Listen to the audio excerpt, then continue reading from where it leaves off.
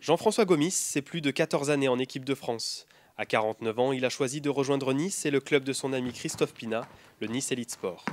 Avec Sonia Fiusa, autre ancienne gloire du karaté français, il se tourne désormais vers la formation pour transmettre leur savoir-faire on a ce gros avantage ici de d'avoir bah, des, gens un peu d'exception.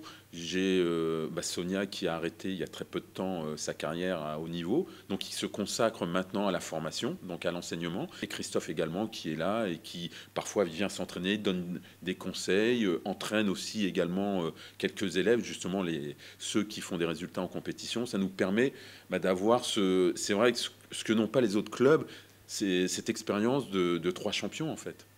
Un avantage pour les 220 membres de ce club de karaté créé il y a 20 ans.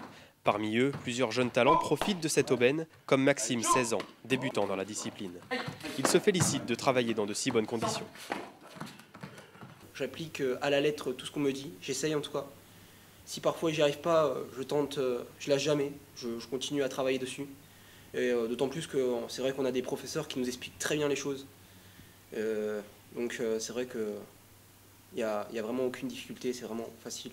Une belle reconversion donc pour des sportifs qui ont connu la gloire. Être un champion, ça se travaille et ça se transmet.